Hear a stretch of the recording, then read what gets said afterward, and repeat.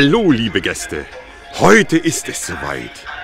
Die wunderbare Scheckübergabe für unser ganz liebevoll hergerichtetes Märchenerzählhaus.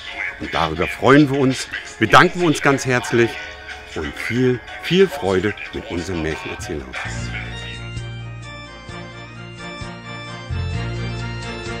Ich sag trotzdem mal einen guten Tag, ne? Hallo. Ach. Heute der Hallo. Wunderbar. Märchengarten. Märchengarten.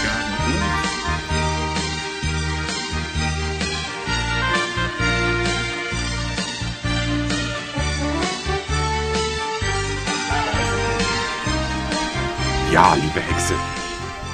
Weißt du was? Komm mal mit zum Ofen.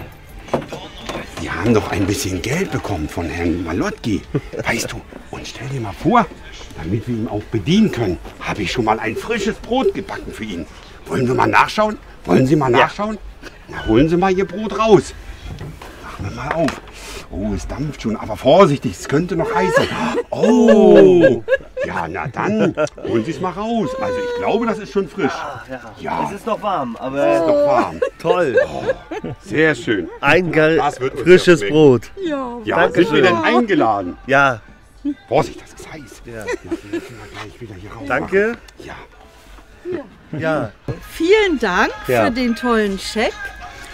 Diesen Scheck nutzen wir für unser Märchenprojekt und zwar, damit wir das Märchenhaus auch von A nach B transportieren können.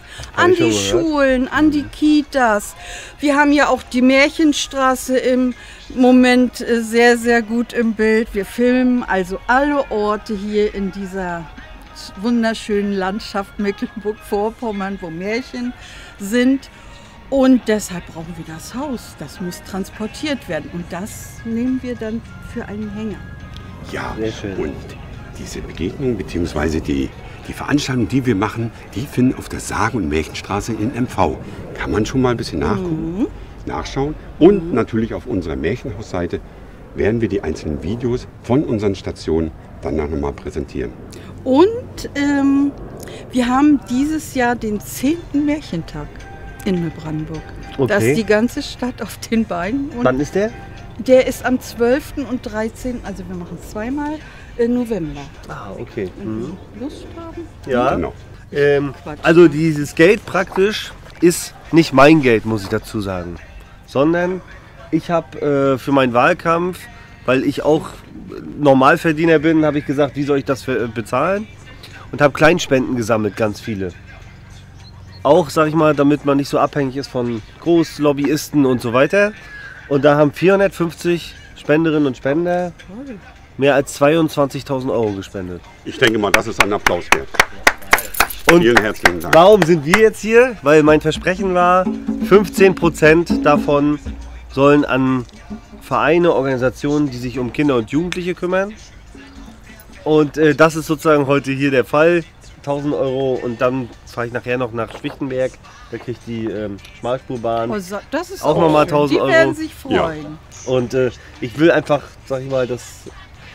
Ich finde es immer schön, wenn was für Kinder und Jugendliche gemacht wird. Und dass sie das auch ehrenamtlich machen und so weiter. Ja, ist top. Ja, Dafür möchte ich mich bedanken. ja, Ja. gern geschehen. So, Trommelwirbel. Trommelwirbel.